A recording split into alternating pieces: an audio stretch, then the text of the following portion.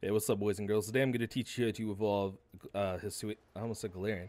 How to evolve Hisuian Qwilfish into uh, Overqwil. I think that's how you pronounce that. So basically, all you need to do is your Hisuian Qwilfish needs to know the move. Wait, hold on.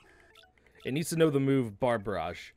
And to make a long story short, what you need to do is you need to initiate a battle with a Pokemon, obviously.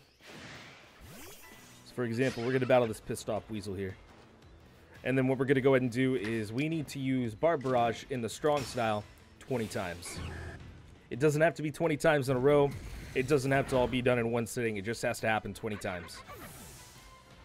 You will have to go back and heal your Pokemon about two or three times at least for this to actually, for you to be able to do this. Because it does use uh, two power points in order to uh, use the strong style move.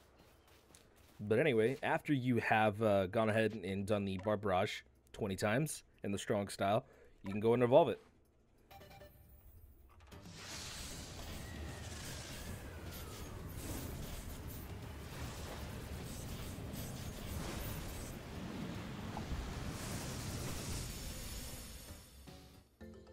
And there you go.